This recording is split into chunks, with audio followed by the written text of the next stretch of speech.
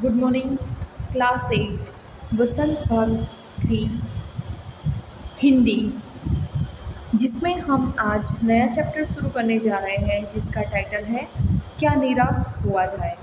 और जिसके लेखक का नाम है हजारी प्रसाद द्विवेदी।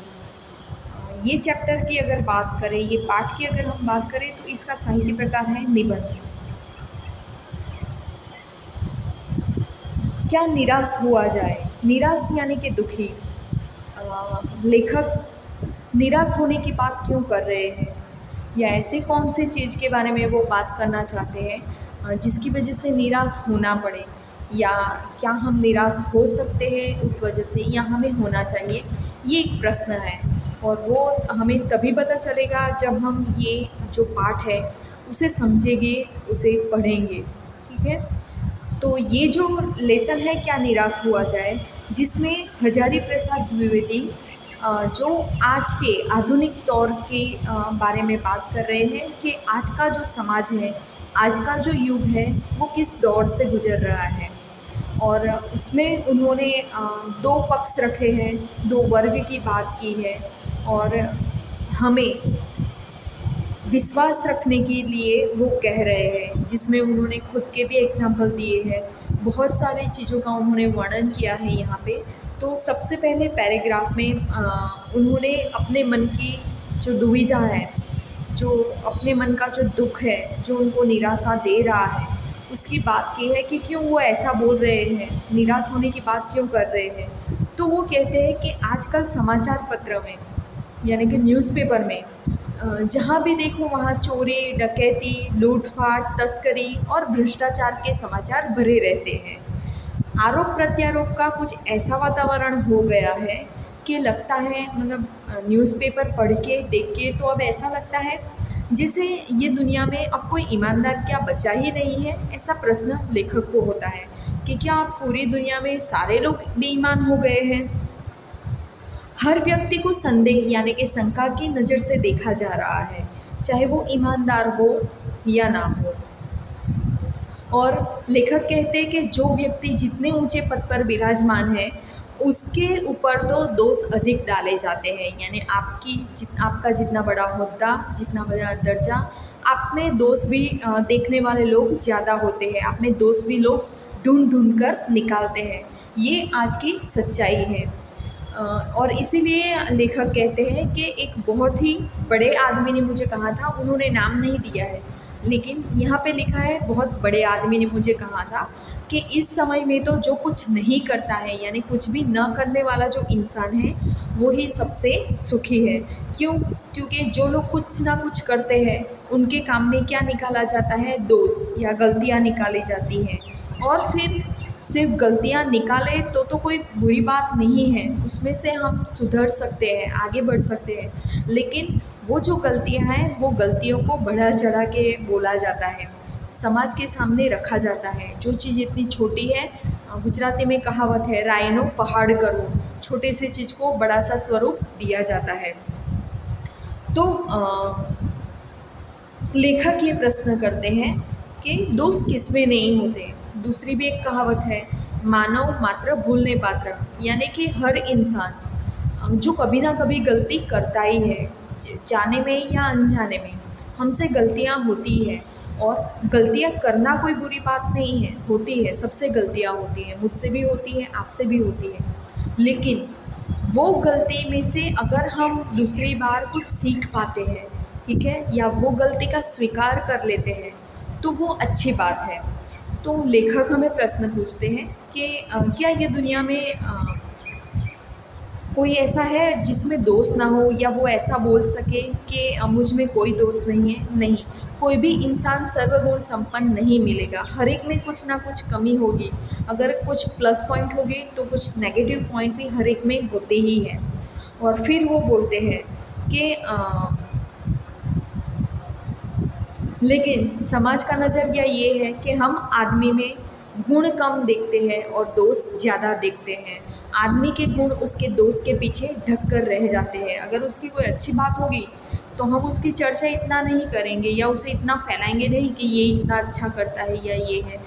बल्कि वो अच्छाई में भी हम क्या करेंगे? कुछ ना कुछ गलतियाँ निकालेंगे, कुछ ना कुछ दोष निकालेंगे। और लेखक का चिंता का विषय ये है कि अगर यही परिस्थिति है, यही सच है तो फिर ये बहुत चिंता का विषय है, क्योंकि ऐसा नहीं होना चाहिए। अगर कोई व्यक्ति कुछ कर रहा है, ठीक है, शुरू शुरू में सबसे गलती होती है। बहुत एक्सपीरियंस के बाद भी गलती हो जाती है।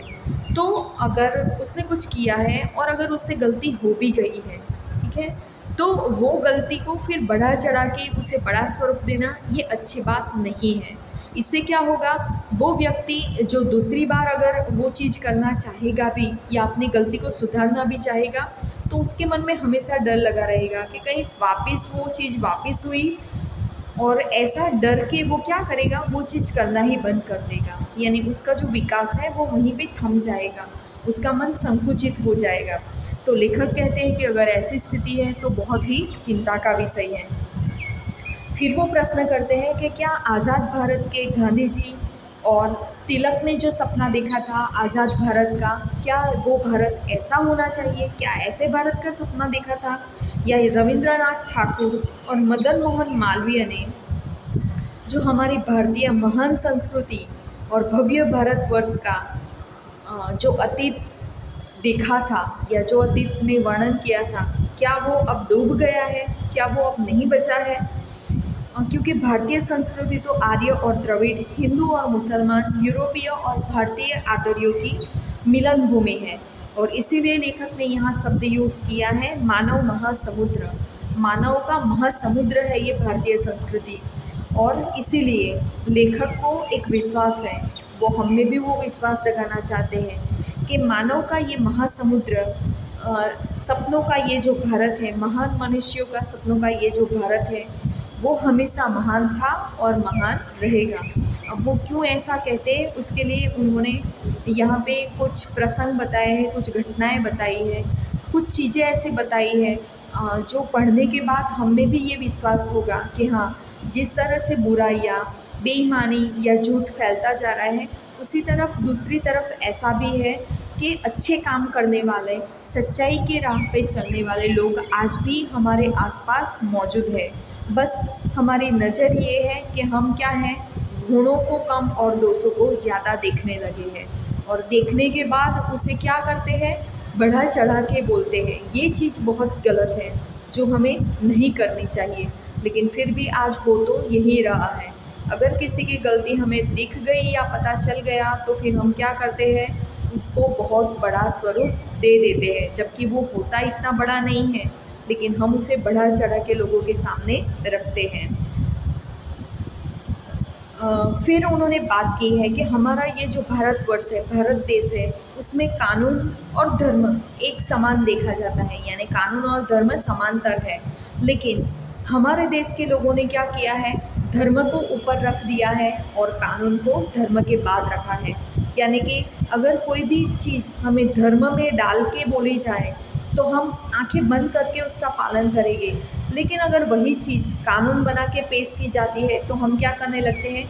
उसमें भी दोष निकालने लगते हैं और फिर उसका विरोध करने के लिए आप देख सकते हो बहुत सारे लोग विरोध प्रदर्शन में जुड़ जाते हैं ठीक है ना? बिना सोचे समझे जुड़ जाते हैं। तो लेखक ये भी कहते हैं कि आ, हम धर्म में त्रुटियाँ नहीं ढूंढते हैं लेकिन कानून में त्रुटियाँ ढूँढने में हम ज़रा सा संकोच नहीं करते हैं। और उसके बाद उन्होंने कहा है कि हमें ये नहीं भूलना चाहिए कि धर्म से भी बड़ी कौन सी चीज़ होती है? कानून है। और वही जो हमें सेवा, ईमानदारी, सच्चाई और आध्यात्मिकता के मूल्य सिखाती है। लेकिन ये चीज़ समझने वाले लोग बहुत कम हैं। और लेखक को इस बात का दुख है। उन्होंने बोला है कि जिस तरह से बेईमान, झूठ, कपट, चोरी ये सब करने वाले लोग बढ़ते जा रहे हैं तो अगर हम नज़र करें, अगर हम हमारे आसपास देखें तो आज भी कई लोग ऐसे मिलेंगे जो महिलाओं का सम्मान करते हैं, ठीक है? रिस्पेक्ट देते हैं, जो सच्चाई की राह पर चलते हैं, जो मनुष्य मात्र से प्रेम करते हैं, प्रेम भाव रखते हैं, हर एक इंसान को वो समान समझते हैं और जो मानव मात्र में क्या करते हैं किसी को भी उनकी वजह से पीड़ा या दुख पहुँचे तो उसे वो पाप समझते हैं। यानी ऐसे लोग आज भी हमें देखने को मिलेंगे, लेकिन उसके लिए हमें उनका वो नज़रिया चाहिए। हम सिर्फ़ अगर दोष ही ढूंढते रहे तो फिर हमें दोष ही मिलने वाले हैं। इसके बाद लेखक कुछ एग्ज़ाम्पल देते हैं जो हमें बताते हैं। कि नहीं, आज भी दुनिया में ईमानदारी, सच्चाई, प्रामाणिकता ये सारी चीज़ें मौजूद है और इसीलिए हमें निराश होने की ज़रूरत नहीं है। वो कौन से प्रसंग हैं और आगे लेखक क्या समझाना चाहते हैं, वो हम नेक्स्ट वीडियो में देखेंगे। धन्यवाद।